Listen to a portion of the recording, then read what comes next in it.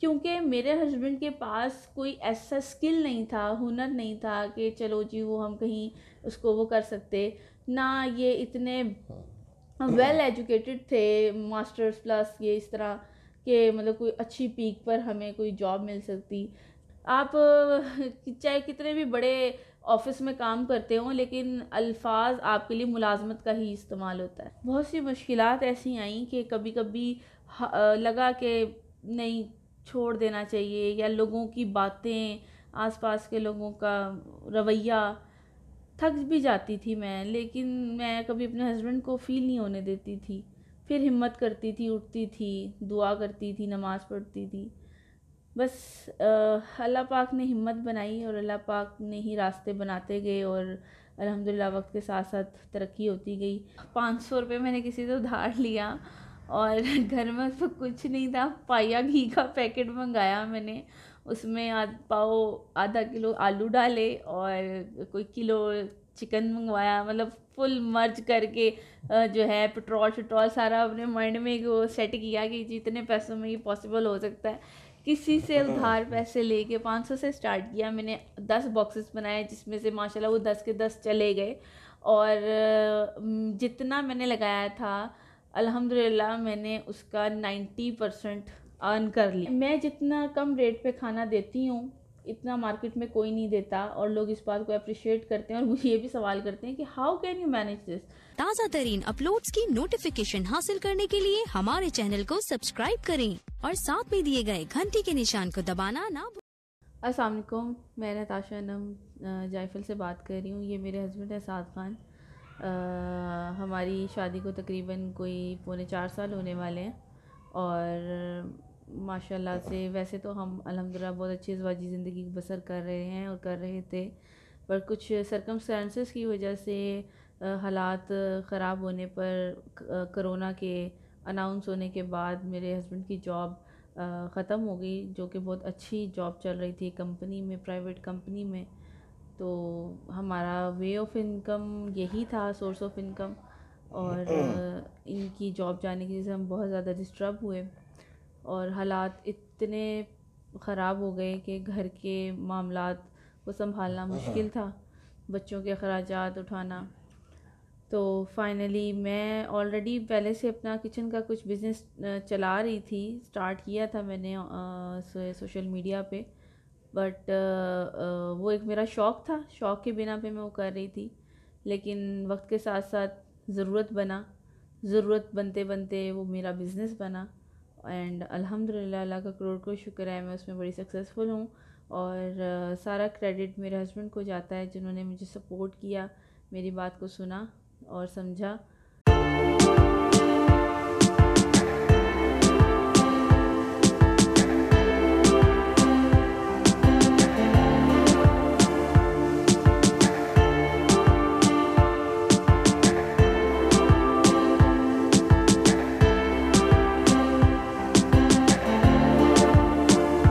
Story कुछ इस तरह से है कि जब हमने स्टार्ट किया तब हमारे पास ऐसा कुछ भी नहीं था कि जिससे हम एक अच्छा स्टार्ट ले सकते। कोई हमारे पास सेविंग नहीं थी। इवन कि इतनी भी नहीं थी कि एक टाइम की रोटी हम अपने घर की पूरी कर हाँ। सकते। हमने किसी से उधार चंद पैसे लिए चंद सौ रुपए लिए और उनसे अपना स्टार्ट लिया। मैंने एक डिश बनाई। और अपने हस्बैंड को बताया कि मतलब मैं क्या प्लान कर रही हूँ। प्लान बस ये बताया कि मैं खाना बना रही हूँ और आपने मेरे साथ कहीं चलना है। uh, उन्होंने मुझसे क्वेश्चन किया कि कहाँ जाना है किधर जाना है क्या करना है? बट uh, मैंने उन्हें कोई मज़ीद डिटेल्स नहीं दी बस उन्हें बोला कि आपने चलना है। मैंने उन उससे आलू गोश्त का सालन बनाया चंद अफराद का कोई दस से बारह अफराद का।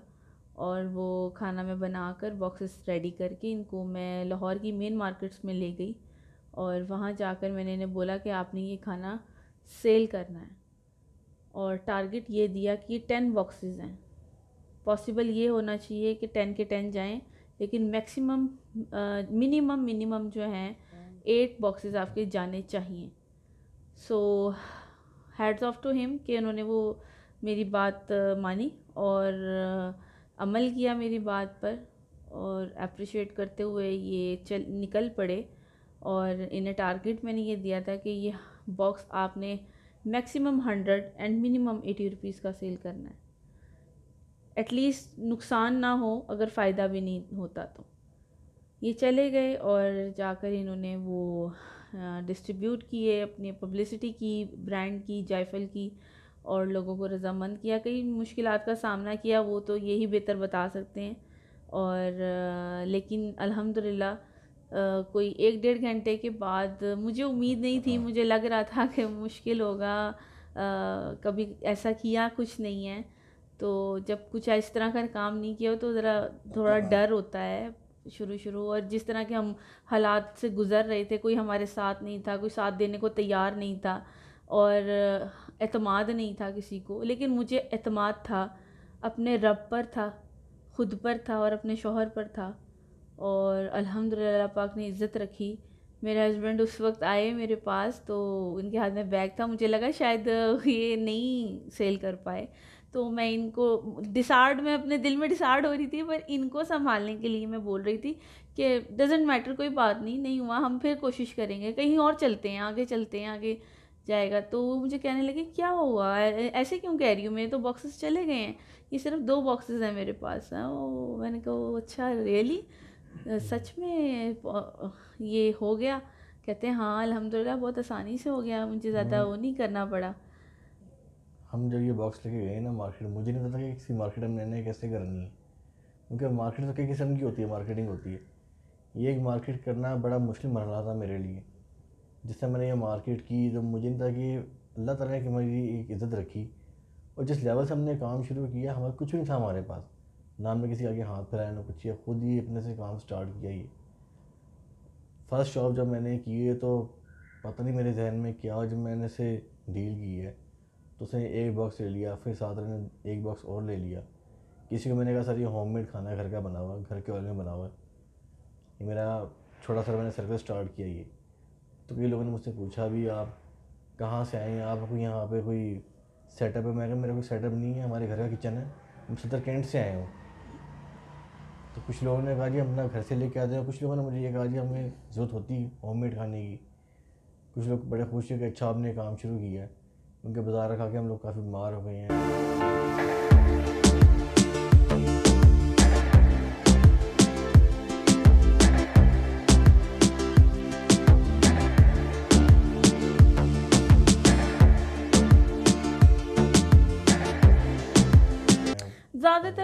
जो दूसरे शहरों से आए होते हैं, यहाँ पर काम करने के लिए, पढ़ने के लिए बेचारे जिन्हें घर की रोटी नसीब नहीं होती, तरस रहे होते हैं घर के खानों को तो उन लोगों का ही ज़्यादा मतलब दिल होता है घर का खाना ख़रीदने में।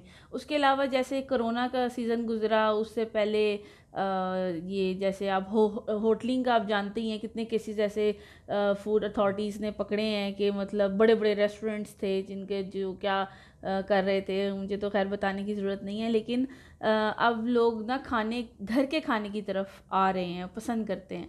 और फिर अल्हम्दुलिल्लाह, ये छोटा मुँह बड़ी बात हो जाएगी।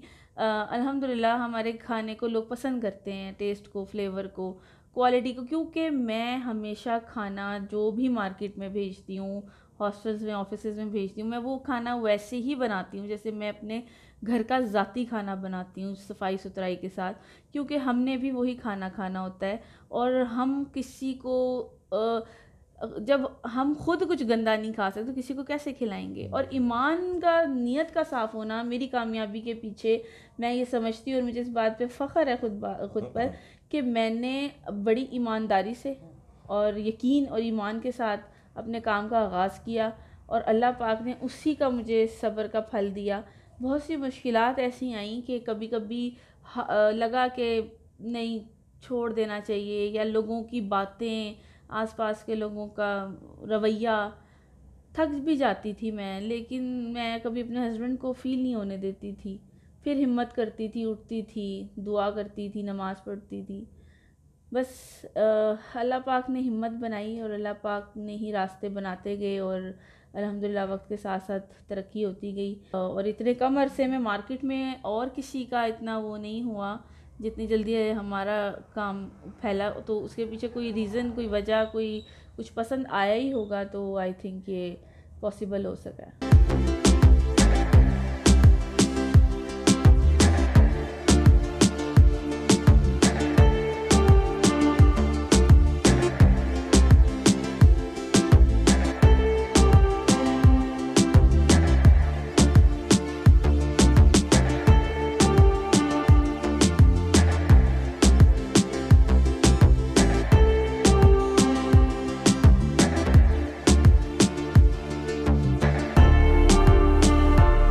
सौ रुपये मैंने किसी से उधार लिया और घर में उसमें कुछ नहीं था। पाया घी का पैकेट मंगाया मैंने। उसमें आध पाओ आधा किलो आलू डाले और कोई किलो चिकन मंगवाया। मतलब फुल मर्ज करके जो है पेट्रोल शट्रोल सारा अपने माइंड में वो सेट किया कि जितने पैसों में ये पॉसिबल हो सकता है। किसी से उधार पैसे लेके पाँच सौ से स्टार्ट किया मैंने। दस बॉक्सेस बनाए जिसमें से माशाल्लाह वो दस के दस चले गए। और जितना मैंने लगाया था अल्हम्दुलिल्लाह मैंने उसका नाइन्टी परसेंट अर्न कर लिया। और मैंने सोचा हुआ था कि ये बॉक्स मैं मार्केट में सेल करके ही आऊँगा। हाँ ये मिशन था हमारा कि हम इसे कंप्लीट करेंगे। अल्लाह ताला ने इज़्ज़त रखी हमारी। अल्हम्दुलिल्लाह शुक्र परवरदिगार जो होता है अल्लाह ताला की अल्लाह ताला जो करते हैं बेहतर ही करते हैं। बेशक। और अल्लाह ताला ने हमारा साथ दिया इसमें। बस फिर उसके बाद चल सो चल ये हुआ कि जब आठ नौ सौ साढ़े नौ सौ रुपये का प्रॉफिट समेत वापस आए पैसे। तो फिर मैंने वो नेक्स्ट उस उसमें लगाया अपना मेन्यू चेंज किया। नेक्स्ट डे में आई थिंक बिरयानी या पुलाव बना कर लेकर गई। हाँ। क्योंकि वो राइस को ज़्यादातर लोग पसंद करते हैं। मैंने कहा चले नेक्स्ट ट्राई करेंगे। फिर मेरे हस्बैंड थोड़े थोड़े डरते थे। कहते थे कि मुश्किल होगा। अभी इतने ना बनाओ। अभी इतने ही रहने दो। अभी यूँ। लेकिन मैं कहती थी आ थोड़ा थोड़ा डर खत्म करेंगे तो जाएगा। कस्टमर ये कहता है कि इसकी प्राइस ज़्यादा है कोई कहता है यार मैंने बड़ा अच्छा शुरू किया हुआ है जिस तरह मेहनत करेंगे प्राइस कुछ भी नहीं है। लोगों के मेरे जो डिफरेंट डिफरेंट किस्म की वैरायटीज़ है मार्केट में लोग हैं अपनी अपनी पसंद के हिसाब से कुछ को महँगा लगता कुछ सस्ता लगता था कुछ कुछ भी नहीं कहते कुछ बहुत बहस करते। ये नहीं मैं मैं इनको यही बोलती थी कि इस चीज़ को मत सोचा करें बस पॉजिटिव रहें और ये यकीन रखें कि आप सही रास्ते पे जा रहे हैं कुछ गलत नहीं कर रहे किसी के आगे हाथ नहीं फैला रहे हैं किसी से भीख नहीं मांग रहे हैं किसी से आ, की मोहताजगी नहीं है। सबसे बड़ी चीज़ मोहताजगी नहीं है। आप चाहे कितने भी बड़े ऑफ़िस में काम करते हों लेकिन अल्फाज आपके लिए मुलाजमत का ही इस्तेमाल होता है। मुलाजिम ही काउंट किया जाता है। मैं इसको कोई बुरी बात नहीं कहती मेहनत है हर काम में मेहनत है। लेकिन अपने बिज़नेस में इंसान बादशाह होता है, जब दिल चाहा खोला, जब दिल चाहा बंद कर दिया कि कोई किसी को बात सुना नहीं सकता, कुछ कह नहीं सकता। मैंने ये सोच अपने हस्बैंड के जहन में डाली और सच बता रही हूँ, बाखुदा, मैं अपने हस्बैंड को पहले भी ये बात बोलती थी कि कब तक हम नौकरी करेंगे, कब तक आप इस तरह की सर्विस करेंगे, जिसमें सिर्फ़ मैक्सिमम मैक्सिमम भी छलांग मार लें तो पंद्रह से बीस हज़ार रुपये क्योंकि मेरे हस्बैंड के पास कोई ऐसा स्किल नहीं था हुनर नहीं था कि चलो जी वो हम कहीं उसको वो कर सकते। ना ये इतने वेल एजुकेटेड थे मास्टर्स प्लस ये इस तरह के मतलब कोई अच्छी पीक पर हमें कोई जॉब मिल सकती। क्योंकि आपको पता है हमारा माशरा उसमें इसी तरह के लोग पाए जाते हैं। मतलब मिडिल क्लास में यही है। और इनके साथ भी कुछ प्रॉब्लम्स पीछे ऐसी रही हैं कि इनके वालदेन का इंतकाल हो गया, बहुत पहले ही मेरे भी वालदेन का इंतकाल हो चुका है। तो हम अकेले ही थे, हमारा कोई इतना सगा कोई पास था भी नहीं। दो, एक रुपया लगाया, दो पाया, दो लगाए, चार पाया, इस तरीके से आहिस्ता आहिस्ता आहिस्ता आहिस्ता, बढ़ाती गई दस से बारह किए, बारह से पंद्रह पंद्रह से बीस। और आज अल्हम्दुलिल्लाह, शुक्र उस परवरदिगार का कि मेरे घर से नाइन्टी फाइव प्लस बॉक्सेस घर से जाते हैं। अक्सर कम भी हो जाते हैं और कब अक्सर ज़्यादा भी हो जाते हैं। तो मैं इसको अपनी यही कामयाबी समझती हूँ। मुझे ज़्यादा की हपकाट ना पहले थी, ना अब है। लोग अक्सर मुझे, मुझसे कहते हैं कि अभी तो ये कुछ नहीं है या अभी तो आपको इतना प्रॉफिट हो रहा होगा या यूँ और नहीं, मैं मैं जितना कम रेट पे खाना देती हूँ इतना मार्केट में कोई नहीं देता और लोग इस बात को अप्रिशिएट करते हैं और मुझे ये भी सवाल करते हैं कि how can you manage this मैं मैनेज इस तरह करती हूँ क्योंकि मेरे लिए खाना बेचना ही सारा काम नहीं है मेरे लिए खाने वाले की भी एक वैल्यू है क्योंकि सारा दिन एक मज़दूर मज़दूरी करके आठ नौ सौ रुपये कमाता है उस आठ नौ सौ रुपये में। आज के वक्त में एक दाल रोटी दो अफराद की भी अगर आप बनाएँ घर में तो पाँच छः सौ रुपये लग जाता है। अगर वो सारा दिन लगा कर उसे एक वक्त की रोटी भी पूरी ना मिले तो फिर फ़ायदा उसकी इतनी मेहनत का। तो मेरी कोशिश होती है कि मैं क्वांटिटी क्वालिटी प्राइस हर चीज़ मैयर करके और कम कोशिश यही करती हूँ, कम से कम उसमें मेरा फ़ायदा भी है और दूसरे का भी हो जाता है। मेरा बिज़नेस एनहेंस होता होता है, मेरा बिज़नेस माइंड ये कहता है। और दूसरा सेटिस्फाई होता है क्योंकि उसे सस्ता खाना अच्छा खाना घर का बना हुआ मिल रहा है। ये म्यूचुअल अंडरस्टैंडिंग होती है हस्बैंड वाइफ की। अ, पहले हम कस्टमर से कह देते थे कि चलें जी पंद्रह दिन में महीने में आप बता दें अपनी पसंद का। लेकिन वो जब ज़्यादा कस्टमर्स होते होने लगे तो फिर वो पसंद नहीं मिलती थी। कि जी मुझे ये नहीं पसंद मुझे ये पसंद है नहीं आप ये करें आप वो करें तो बड़ा मुश्किल होता था। अब इतने बंदों में तो नहीं मैं उसको अलग अलग अलग थोड़ा थोड़ा तो नहीं बना सकती थी।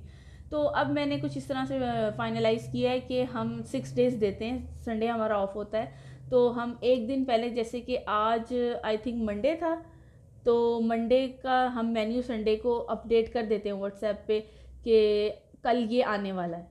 तो वो कस्टमर्स तक पहुँच जाता है कि कल ये होगा या आज ये है।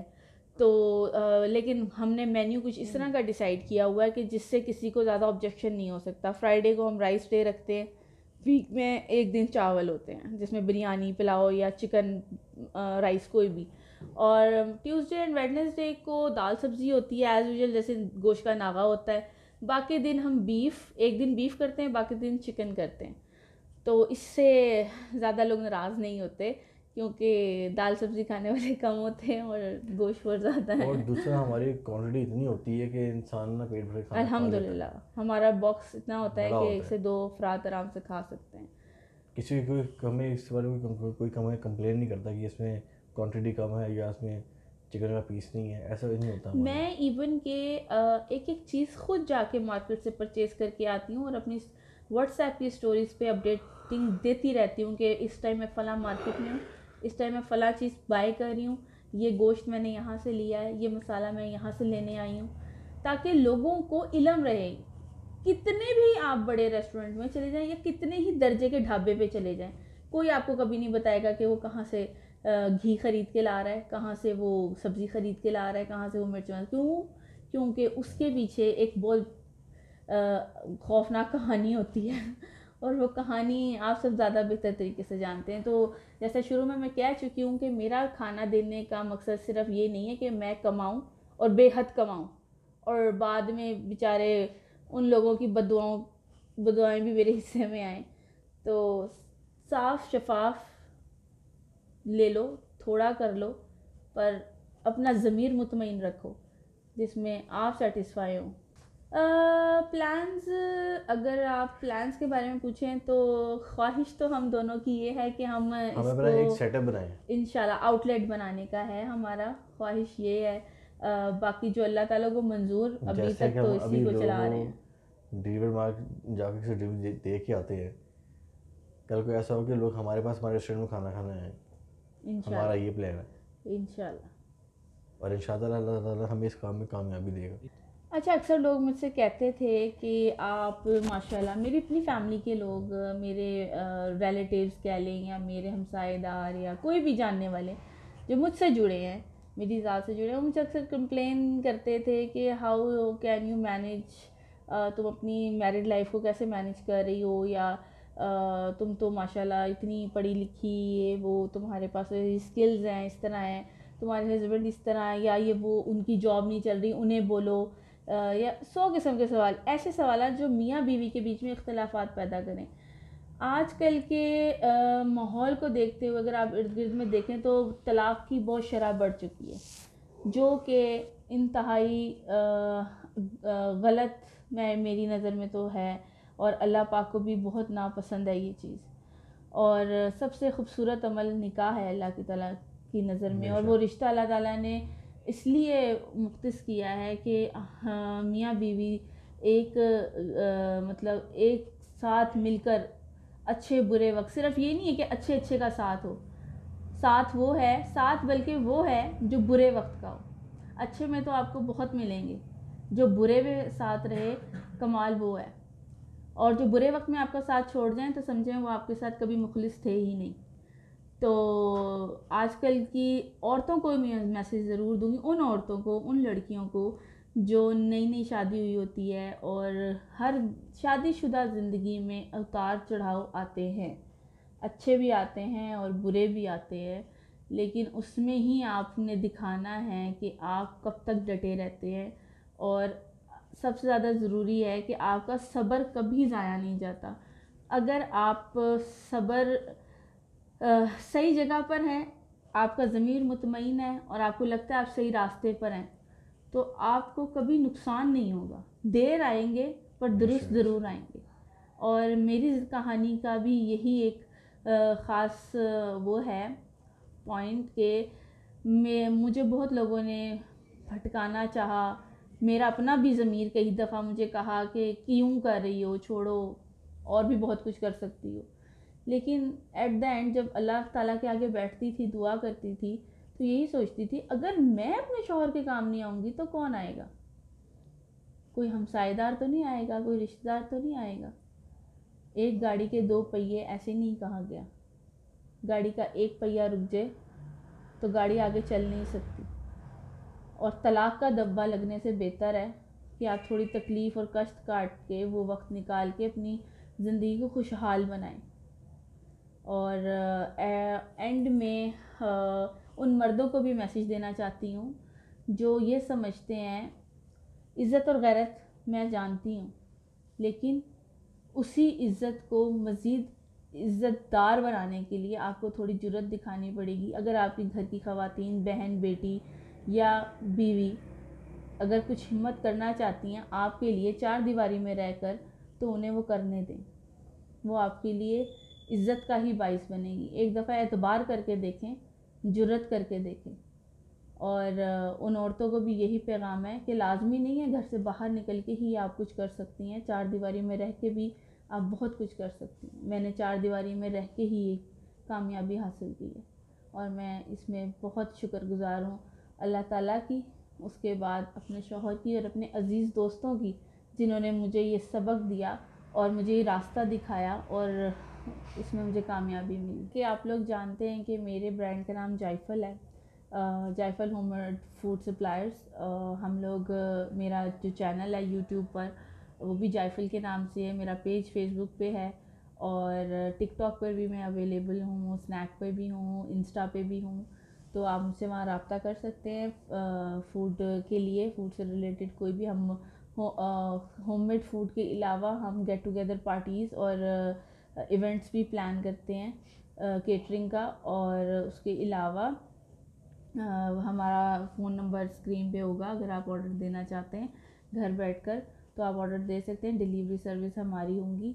और जो लोग हमें देख रहे हैं, उनसे एक ही गुजारिश है कि हमने ये कदम बढ़ाया, इसमें हमारा साथ दें और हमें इसमें मज़ीद कामयाबी हासिल करने के लिए हमारे चैनल को लाइक करें, सब्सक्राइब करें और आगे हमें सपोर्ट के तौर पर हमें ज़्यादा से ज़्यादा बिज़नेस दें ताकि हमें आने वाले कल में किसी की मोहताजगी फेस ना करनी पड़े और हम अपने दम पे ही इसको आगे रन अप करें। Thank you.